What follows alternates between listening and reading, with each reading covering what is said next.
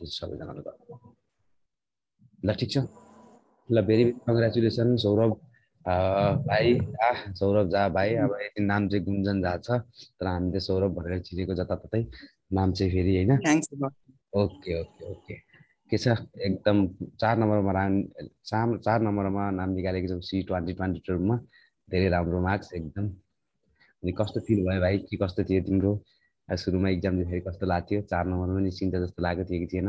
Top फाइभमा धेरै राम्रो मार्क्समा त्यस्तो त लागेको थिएन। चार नम्बरमै निस्किन्छ तर लागिरहेको नाम त निस्किन्छ होला। तर चार नम्बर निस्किन्छु भने थाहा थिएन। चारमा त्यस्तो त लागिरहेको थिएन। ठिक छ ठिक छ। अलि एक दुई नम्बर लियो नत्र फर्स्ट सेकेन्ड थर्ड फोर्थ पाँचभित्र आउने भने सबै एउटै क्याटेगोरीको हो कि? अलिकति भनेको मार्क्सको मात्रै फरक हो ठिक छ। धेरै राम्रो गर्यो फेरि कङ्ग्रेचुलेसन तिमीलाई तिम्रो परिवारलाई सबैजनालाई होइन? दुई वर्षको मिहिनेत सबै राम्रोसँग पाइयो एकचोटि नै फर्स्ट इयरमै होइन? सिम्पली कुरा गर्छु? सी ट्वेन्टी ट्वेन्टीको इक्जाम तिमीलाई चाहिँ कस्तो लाग्यो? एज अ होल सबै पेपर एनालाइसिस गर्दाखेरि हेर्दाखेरि मार्क्स अभियसली राम्रो आएको छ। कस्तो लाग्यो? कस्तो मिड हाई जस्तो लाग्यो?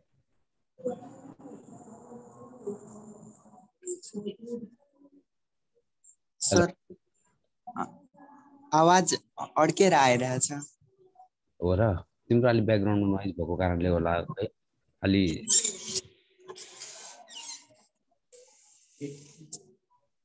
ल ठिक छ। ओके यो भयो।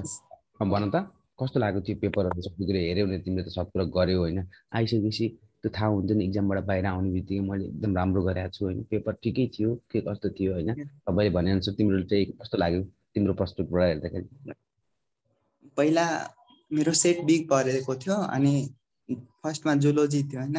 अनि जुलोजीको मलाई फर्स्ट र सेकेन्ड क्वेसन एकदम कन्फ्युजिङ लाग्यो यी हजुर। इलेक्ट्रोकार्डियोग्रामको क्वेसन थियो तर मलाई अप्सन एकदम कन्फ्युजिङ लाग्यो कि के लाउने अनि अनि भने कि मेरो अलिक बायोलोजी पहिला पनि अलिक गाह्रो हुन्थ्यो याद राख्न धेरै कुराहरू। अनि म त्यस्तो धेरै टार्गेट गरेको थिएन बायोलोजीमा म।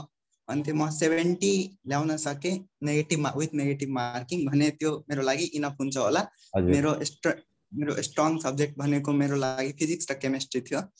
अनि त्यसमा राम्रो स्कोर गर्छु होला त्यसमा टार्गेट गरेको थिएँ। अनि त्यो बायो पनि बिच बिचमा कुनै कुनै झुक्याउने क्वेसनहरू आइरहेको थियो तर ओभरअल सजिलै क्वेसन थियो। अनि त्यो गर्दै गएपछि त्यसपछि फिजिक्स थियो मैले दुई तिनवटा क्वेसन गरेँ अनि मेरो प्लान थियो बायो गर्ने अनि फिजिक्स केमिस्ट्री गर्ने अनि फिजिक्स गर्ने। अनि म भने म आफ्नो प्लानमै स्टिक गर्छु। उता केमिस्ट्रीतिर जाँदा मेरो फर्स्ट दुईवटा क्वेसन आएन मलाई केमिस्ट्रीको। हार्ड म डराउन थालेँ एकदम डराउन थालेँ त्यसबाट दुइटा आएन। फेरि दुई तिनवटा गरेपछि फेरि कोलाइडल स्टेटको क्वेसन आयो दुइटा म कोलाइडल स्टेट पढेरै गएको थिएन किनभने लागिरहेको थियो सिले प्लस टूको सिलेबसबाट सोध्छ क्वेसन अनि त्यो आउट अफ सिलेबस क्वेसन थियो त्यसबाट म झनै डराएँ। अनि अलि कन्फिडेन्स लुज गर्न पनि थालेँ त्यसपछि चाहिँ क्वेसनहरू गर्दै गएँ तर मेरो दिमागमा चाहिँ त्यही क्वेसनहरू अब बायोलोजी त मेरो त्यस्तै मेरो जुन टार्गेट जुन सब्जेक्टमा मैले धेरै स्कोर गर्ने टार्गेट गरिरहेको थिएँ त्यसमा मैले मार्क लुज गरिसकेको छु। अब के गर्ने होला भनेर एकदम डराइसकेको थिएँ। अनि त्यही पनि अरू पछि त स्मुथली गए पनि मेरो दिमागमा चाहिँ त्यही क्वेसनहरू अब के गर्ने होला कसरी ट्याकल गर्ने होला त्यस्तोलाई त्यही चलिरहेको थियो। त्यही पनि अरू अरू क्वेसनहरू त सजिलै थियो। त्योहरू गरेँ। फिजिक्स त फेरि एकदम सजिलो आएको थियो। फिजिक्स त्यो पनि गरेँ। अनि म्याथ नि सजिलो आएको थियो त्यो पनि अलमोस्ट सब राइट गरेँ त्यो म्याथ म्याथ पनि सम धेरैजनाले राम्रो राम्रो गरेर म्याथ छ म्याथ र फिजिक्स त धेरै इजी आयो। भन्दै चाहिँ धेरै इजी ल ठिक छ। हुन्छ हुन्छ भाइ। ल ठिक छ। अब एक्सपिरियन्स धेरै एकदमै राम्रो रहेछ। सुरुमै के छ? अरूलाई सुरुमा सजिलो सजिलो आएर कन्फिडेन्स बुस्ट हुन्छ। तिमीलाई चाहिँ सुरुमा अलिकति गाह्रो क्वेसन परेर कन्फिडेन्स लो हुँदा पनि त्यही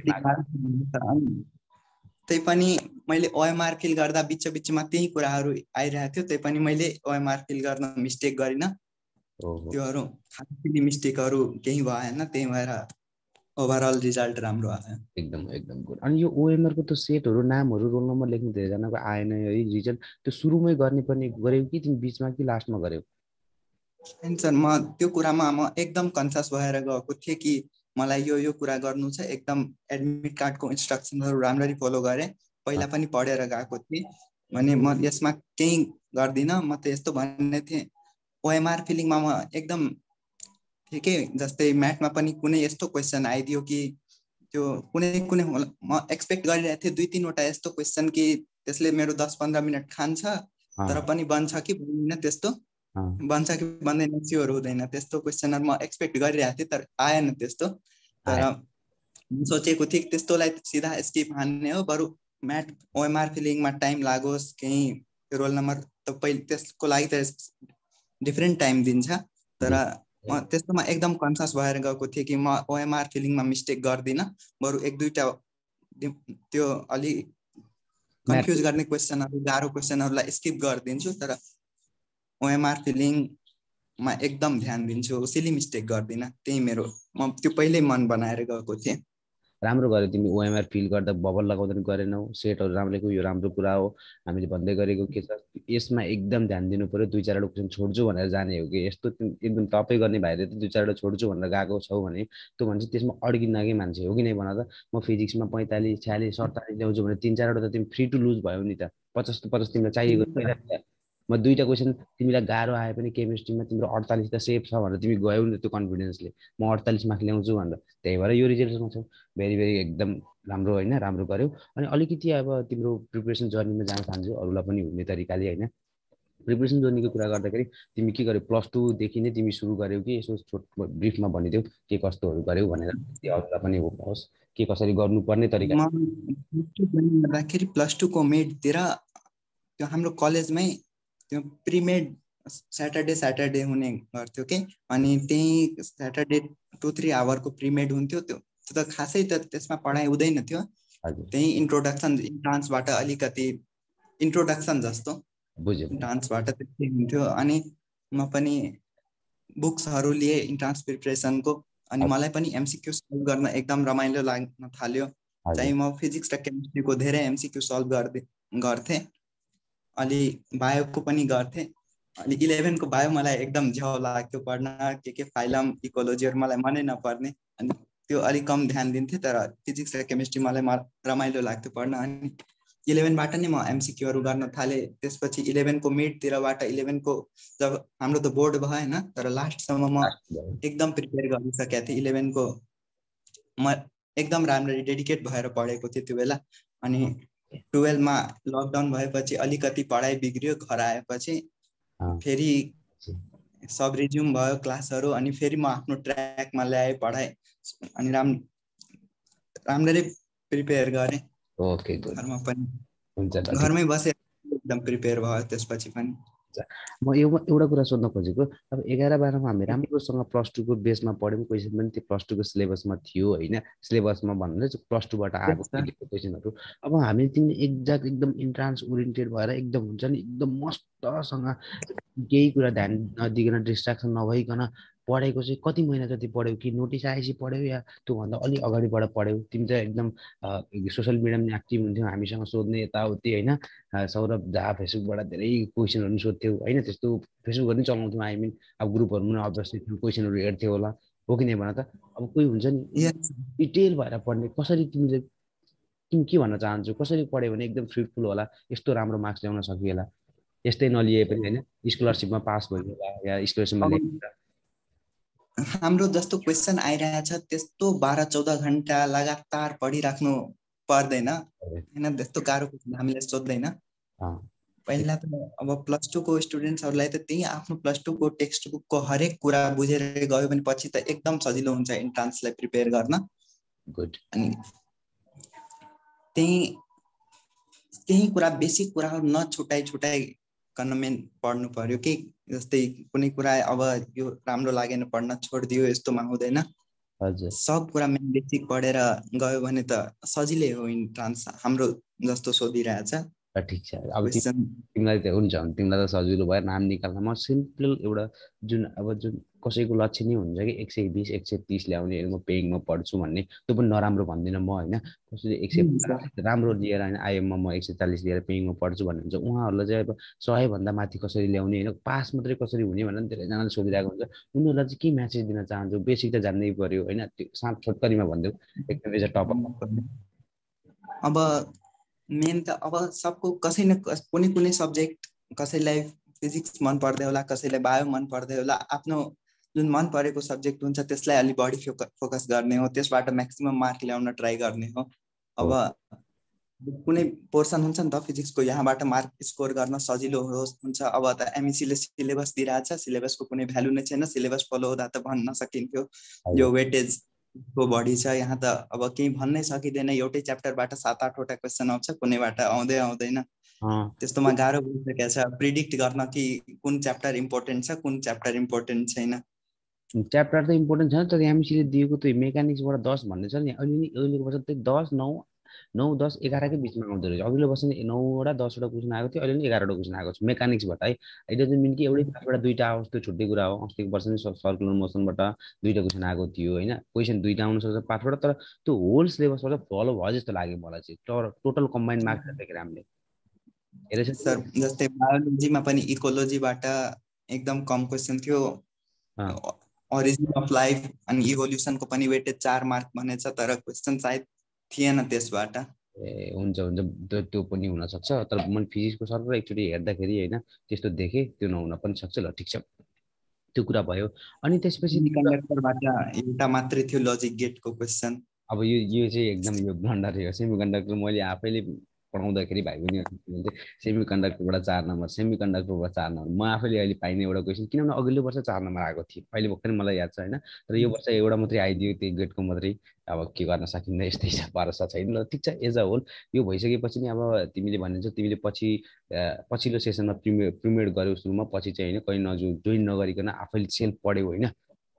त्यो भयो। अनि त्यसपछि यो हाम्रो अब एज अ इन्ट्रान्स नेपालको टिमबाट तिमीलाई हामीले धेरै गाइडेन्सहरू गऱ्यौ होइन last आवरमा guidance is also very very important होइन। के भन्न चाहन्छौ?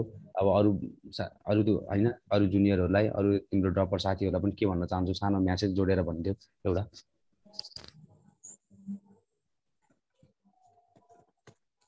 जुनियर्सहरूलाई सर।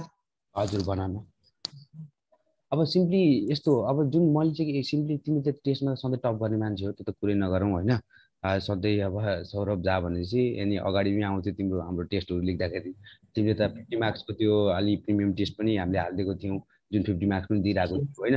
हो त्यसको बारेमा त्यसको बारेमा तिम्रो फिलिङहरू कस्तो भयो के हो त्यो पुरा मिलाएर। नेपालको टेस्ट भनेको हाम्रो बेसिक्स टेस्ट गर्ने हो टेस्ट मलाई लाग्यो होइन। जुन हाम्रो सीलाई भेरी भेरी इम्पोर्टेन्ट त्यो हाम्रो बेसिक्सहरू क्लियर हुनु पर्थ्यो। भनेको एकदम तिम्रो तिमीलाई मनमा लागेको कुरा मनमा लागेको कुरा भन एकदम मतलब तिमीलाई के लाग्यो टेस्टको बारेमा त्यही मात्रै भन। तिमीलाई होइन त्यो दिएको मान्छे हो त्यही एकदम। त्यो गर्नु पर्दैन एकदम होइन। अनकम्फर्टेबल फिल नगर होइन। मनमा जे भन। मलाई लागेको कि त्यो टेस्ट भनेको हाम्रो बेसिक्स टेस्ट गर्ने कि एकदम बेसिक लेभलको क्वेसनहरू जुन हाम्रो प्रोबेबल क्वेसनहरू हुन्छ हामीले लाइक म पनि एउटा टेस्ट मैले सुरुको तपाईँले फर्स्ट टेस्ट कन्डक्ट गर्नु भएको थियो होइन? टु टु हन्ड्रेड मार्क्सको अनि मेरो त्यसमा स्कोर कम नै आएको थियो। मैले बेसिक बेसिक कुराहरू बिगारेको थिएँ अनि म रियल रियलाइज गरेको थिएँ अलिकति। बेसिक कुराहरू म छुट्याइरहेको छु त्यस्तो मलाई फिल भएको थियो। अनि मैले बेसिक्स कुराहरू फेरि रिभिजन गरेको थिएँ। अनि मेरो टेस्टमा फेरि मार्क्सहरू बढेको थियो। मलाई लागेको थियो जस्तै सिम्पल सिम्पल कुराहरू म पनि छोडिरहेको थिएँ कि त्यो बेला। अनि म फेरि त्यसलाई रिभाइज गरेको थिएँ त्यो फर्स्ट टेस्टमा मेरो कम मार्क्सले। म त्यसलाई एकदम हेल्पफुल भन्छु सर। ओके ल ठिक छ। अझ अरू कुरो के हो भने टेस्टमा के हुन्छ भने त्यो हामीले सी ट्वेन्टी ट्वेन्टी वानको क्वेसन हेरेर बनाउने हो कि? अब अरू ठाउँमा तिम्रो होइन डाइरेक्ट गुगलबाट कपी पेस्ट गऱ्यो भने स्टुडेन्टलाई कन्फिडेन्स पनि लो हुन्छ अनि फ्रुटफुलै हुँदैन। पनि जोइन गरेको थिएँ पछि रिग्रेट नि भयो कुनै काम छैन त्यस्तो। अब के हुन्छ भने भाइ बहिनीहरूलाई केही कुरा थाहा हुँदैन होइन त्यो कुराले नै हो बुझेर आफूले गर्ने हो आफूलाई मन परेको कुरा मात्रै लेख्ने हो कि आफूलाई कुन फाइदा छ? अब इक्जाममा आउने भनेको गाह्रो क्वेसन आउँदै आउँदैन। हन्ड्रेड पर्सेन्ट थाहा भएको भन त तिमी आफै। यस सर अब सिम्पली तिमी जस्तै नानी सही लागि त हन्ड्रेड पर्सेन्ट तिमीले जस्तो सुकै गाह्रो क्वेसन आयो भने तिमी ट्याकल गर्न सक्छौ होइन टपै गर्ने मान्छेले। म भनेको सिम्पल पासै हुनको लागि तिम्रो त अझ तिमीहरूले त त्यो पासै हुनेहरूले त टपिकहरू छोडेर मिडियम लेभलको पनि नगरे हुन्छ कि? बेसिक अन्डरस्ट्यान्डिङ गऱ्यो भने उनीहरू पास हुन सकिन्छ तर त्यो कता कता गएर के के गरेर नेमोनिक्सहरू गऱ्यो भने केही गर्न सकिँदैन। सिम्पली भनेको हो कि नै कन्सेप्टलाई के गर्ने भन त तिमी आफै भनिदेऊ सर त्यो न्युमोनिक्सबाट कहाँ हुन्छ त? मेन त कन्सेप्ट त जुनसुकै क्वेसनलाई त त्यसको क्ल्यारिटी त हुनुपर्छ कन्सेप्टको एकदम। क्ल्यारिटी केही गर्न सकिँदैन। अब यस्तो मलाई लागेको अब हायर फिजिक्सहरू के हुन्छ भने कन्सेप्ट प्लस त्यहाँ लिङ्केज हुन्छ कि? जस्तो तिम्रो एउटा यतैपट्टि प्रोजेक्टाइल मोसन र होइन सर्कुलर मोसन प्रोजेक्टल मोसन र सर्कुलर मोसनको अब तिम्रो त्यहाँ लिङ्केज गरिदियो भने गाह्रो भयो नि त। प्रोजेक्टलको माथि टपमा गएर बम एक्सप्लोजन भयो भनेपछि त्यहाँ लिनियर मोमेन्टमको कुरा भयो। हो त्यस्तो भनेको गाह्रो क्वेसन हो। सिम्पल प्रोजेक्टल मोसनबाट मात्रै आएको क्वेसन त सजिलो हुने होइन र भाइ? भन तिमी आफै। त्यस्तो गाह्रो क्वेसन गर्नु भएन कि? हो यस्तो यो यो बारेमा यो फ्रेसरहरूलाई एकदम छोटोमा मिठो त तिम्रो अब राम्रो मार्क्स लिएको भाइको मुखबाट सुन्यो भने एकदम होइन? थाहा हुन्छ मैले भन्नु भने ल भन। क्वेसन कस्तो कस्तो गर्दाहरू होला उनीहरूलाई एकदम म्यासेज दिने एउटा सौरभ। क्वेसन चाहिँ एकदम बेसिकवाला गर्ने होइन? एकदम जस्तै मल्टिपल जस्तै निटतिर आउने क्वेसनहरू मल्टिपल क्वेसन मल्टिपल बेस्ट क्वेसनहरू आउँछ। त्यस्तोहरू नगर्दा पनि हुन्छ। त्यस्तो क्वेसन गर्यो भने लास्ट क्वेसन निटको पनि सजिलो सजिलोवाला गर्दा हुन्छ। तर जुन मेन त थ्योरी बेस्ड पनि बेसिक्स क्वेसनहरू गर्ने बेसिक क्वेसनहरू बेसिक गर्ने। जस्तै हाम्रो पोइन्टको क्वेसनहरू जस्तै अब मोड्युलको क्वेसनहरू पनि कुनै कुनै एकदम टफ दिएको हुन्छ जस्तै बायोलोजीमा पनि कुनै कुनै अनरिलेटेड कुराहरू हुन्छ। म पनि त्यस्तो कुराहरूलाई स्किप गरिदिन्थेँ। मलाई थाहा थियो त्यस्तो क्वेसन सोध्ने नै होइन। अनि किन आफ्नो टाइम वेस्ट गरिराख्ने? अनि बेसिक्स नै पढेर बेसिक कुरा नै सानो कुराहरू पटक पटक रिभाइज गर्थेँ हो त्यो चाहिँ धेरैजनालाई लाग्यो भनेको नि यही हो। अब क्वेसनहरू चाहिँ बेसिकबाट जस्तो सिमा आउँछ त्यस हामी जेको लागि प्रिपेयर गर्ने हो त्यही गर्ने कि त्यसको लागि गर्ने आफूलाई कन्फिडेन्स नि बिल्ड हुन्छ।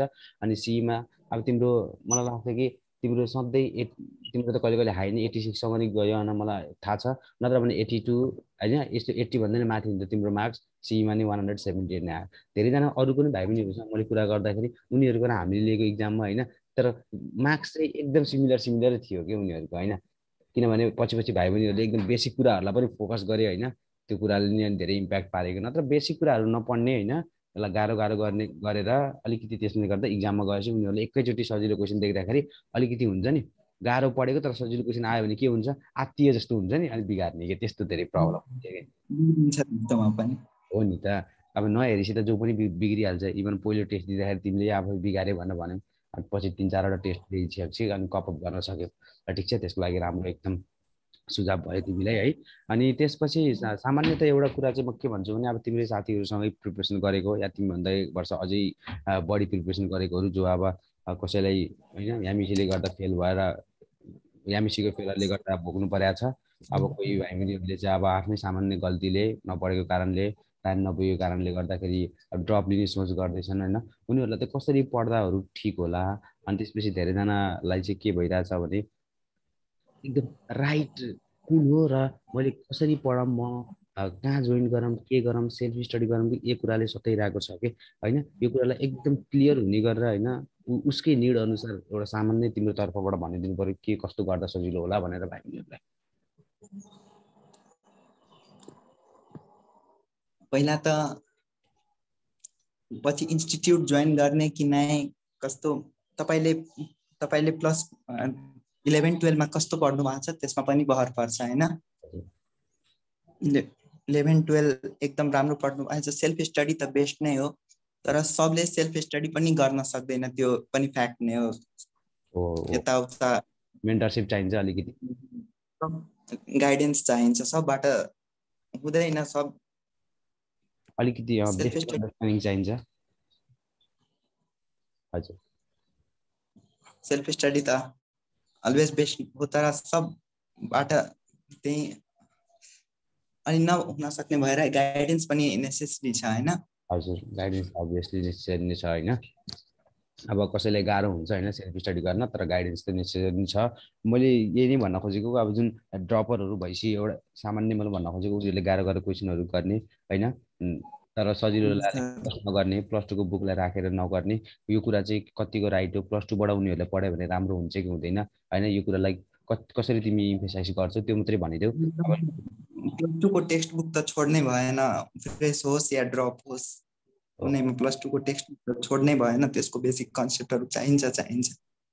बेसिक कन्सेप्टहरू चाहिन्छ चाहिन्छ। त्यो नै भयो। अब सीमा कस्तो खाले क्वेसन आउँछ अब गाह्रो आउँछ कि कस्तो हुन्छ क्वेसनहरू भन्दाखेरि त अब हाम्रो पनि टेस्टहरू छ होइन। त्यो टेस्टमा अब त्यस्तै सिमिलर क्वेसनहरू हुन्छ त्यो कुराहरू पनि हेर्दा भयो होइन र भाइ? यस सर हुन्छ ठिक छ गरेँ। म पनि त त्यो टेस्टबाट थाहा पाएँ म पनि कुनै कुनै बेसिक कुराहरू छुट्याइरहेको छु म त्यसलाई इम्प्रुभ पनि गरेँ। ओके त्यसो ग्रेट हुन्छ। त्यो पनि राम्रो धेरै नै राम्रो हो। अनि तिमी चाहिँ अनि के युट्युबबाट हाम्रो च्यानलहरूबाट नै हेरिरहेको थियौ कि भिडियोजहरू हेर्थ्यौ कि अब पुरै सेल्फै गरिरहेको थियो सरहरूले लाइभहरू गर्नुहुन्थ्यो। अब त्यहाँ क्लासहरू पनि युट्युबबाटै हामी गरिदिन्थ्यौँ। त्यो क्लास क्लासहरू कतिको तिमीलाई गाइडेन्सहरू सब कुराहरू हेरिरहन्थ्यौ होइन? गाइडेन्सहरू चाहिँ तिमीले पनि भनिरहन्थ्यौ कमेन्टमा मैले देखिरहन्थेँ यस्तो यस्तो चाहियो भनेर। लास्ट आवरमा सबै कुरामा पर्फेक्ट भएर जानुपर्छ कि? पढ्ने मात्रै होइन सधैँ होइन। भाइको मैले देखिरहन्थेँ यस्तोमा यो गरिदिनु अब कुन पार्टबाट के हुन्छ भनेर यस्तो कुराहरू उसले हेरिहाल्ने कुरो भनेको यस्तो हेल्प गरिदिँदा राम्रो हुन्थ्यो तपाईँ पनि गर्नुभयो त्यस्तो। थ्याङ्क यू है त्यो थ्याङ्क यू भन्ने कुरै होइन कि? थ्याङ्क यू त तिमीले राम्रो नाम निकालेर भनिसक्यौ कि? अब त्यो मनले तिमीले थ्याङ्क यू भन्नु नै पर्दैन किनकि यति राम्रो ऱ्याङ्क ऱ्याङ्क निकाल्यो। हाम्रो सानो हेल्पले गर्दाखेरि तिम्रो यति राम्रो ऱ्याङ्कमा आयो होइन? द्याट्स अ ग्रेट ठिक छ राम्रो मजा आयो तिमीसँग कुरा गरेर। अब भाइको सबैजनाले कुराहरू सुनिसक्नु भएको छ। राम्रोसँग गऱ्यो भने होइन? राम्रोसँग स्कलरसिपमा नाम निकाल्न पनि सकिन्छ। इभन भाइ त टपर। अनि त्यसपछि टप फाइभभित्र पर्ने चाहिँ सबैजना एउटै ऱ्याङ्क हो कि? एउटा दुइटा मार्क्सले एउटा दुइटा त भाइले सिल्ली मार्क्स सिल्ली मिस्टेक गरेको कारणले गर्दाखेरि हुने हो त्यो होइन? अरू पास मात्रै हुनको लागि म फेरि पनि भाइ बहिनीहरूलाई भनिदिन्छु भाइको मनबाट। म त बेसिक र पास्ट इयर क्वेसनहरूलाई एनालाइसिस गरेर पढ्ने त्यही क्वेसनहरू नपढ्ने होइन? बेसिकबाट सबैको सबै पार्टको पढ्ने गर्न सकिन्छ। सकिन्छ कि सकिन्छ के लाग्छ तिमीलाई? त्यही तर इलेभेन टुवेल्भको म टेक्स्ट बुकलाई त कम्पलसरी भन्छु। एकदम कम्पलसरी गरेर पढ्नु पऱ्यो भन्छु होइन? अरू केही केही भन्न चाहन्छौ अरूलाई? जुन ट्वेन्टी ट्वेन्टी थ्री दिनेहरूलाई कि हामी अब इन्डिङ गरिदिउँ? सानो स्पेसल म्यासेज भन्छु भने भन तिम्रो तर्फबाट। त्यस्तै अब धेरै त्यसलाई आत्तिनु नहोला पढेर सरी सर। होइन टाइम लामो छ होइन पढ्दा पढ्दा आत्तिनु नहोला भनेको ठिकै हो तिमीले भन्नु बेसिक नै आउने हो धेरै गाह्रो कुराबाट आफूलाई धेरै गाह्रो कुरा गर्न सकिएन भने त्यसबाट डिमोटिभेटेड हुनु भएन। भएन हो। डिमोटिभेट हुनु भयो यो यो नआए नि मैले अरू गर्छु पढेर यस्तो छैन। मलाई बाह्र घन्टा पढ्नु छ चौध घन्टा पढ्नु छ आफ्नो क्यापेसिटी अनुसार। हामीलाई त्यस्तो क्वेसन पनि सोध्दैन कि जसको लागि बाह्र घन्टा चौध घन्टाको पढाइ चाहियो। त्यो पढ्न पर्दैन त्यस्तो अब। पिजीमा पढे हुन्छ त्यस्तो पढाइको लागि। कम्फोर्टेबल जुन टाइममा हुन्छ त्यो बेला पढ्ने तर रेगुलरली पढ्ने। ओके ल हुन्छ हुन्छ भाइको सबै कुराहरू सबैजनाले सुनिसक्नुभयो। यो कुराहरू फलो गर्नु है। थ्याङ्क यू सौरभ भाइ गुन्जन भाइ एकदम दुईजना भाइलाई एकदम एउटै भाइ हो। धेरै धेरै थ्याङ्क यू तिम्रो नाम चाहिँ के छ? तिम्रो सर्टिफिकेटमा यो नाम छ? सौरभ चाहिँ तिमीले बोलाउने नाम हो सबैले? यस सर यतातिर। अब सिटिजनसिप एकाडेमिक नेम त गुन्जन नै हो। ओके हुन्छ ल ठिक छ। ओके थ्याङ्क यू भाइ थ्याङ्क यू